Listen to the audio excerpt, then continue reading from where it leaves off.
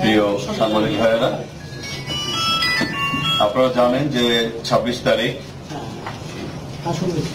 সরকারি কলেজের মেইন গেটের পশ্চিম দিকে একটি রোমহর্ষক হত্যাকাণ্ড সংঘটিত হয়েছিল।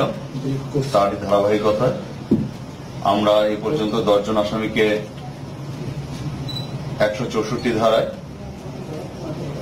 জবানবন্দি গ্রহণের জন্য বিজ্ঞ আদালতে প্রেরণ করেছি এবং এ পর্যন্ত চোদ্দ জনকে আমরা গ্রেপ্তার করেছি। আর এই মামলার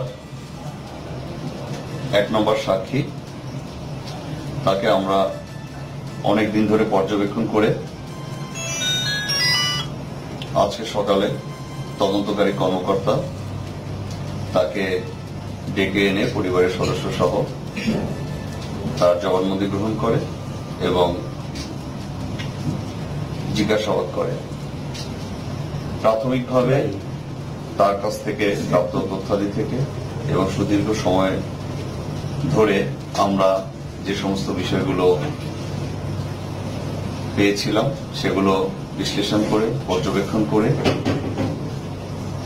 আমরা এই সিদ্ধান্তে উপনীত হয়েছি যে তার সত্যতা প্রাথমিকভাবে প্রতীয়মান হয়েছে।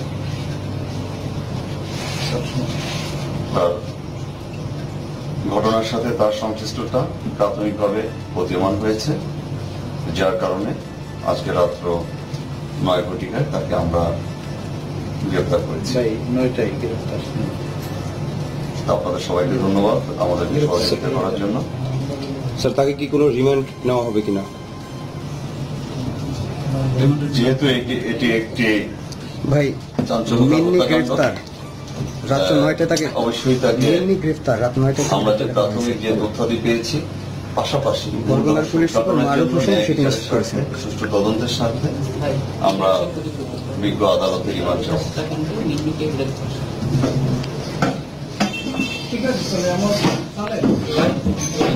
ভিডিওটি ভালো লাগলে লাইক কমেন্টস এবং শেয়ার করুন। আর এইরকম আরও আপডেট ভিডিও পেতে আমাদের পিউ নিউজ টিভি সাবস্ক্রাইব করুন। পিউ নিউজ টিভির সাথেই থাকুন। ভালো থাকবেন, সুস্থ থাকবেন। আল্লাহ হাফেজ। ধন্যবাদ।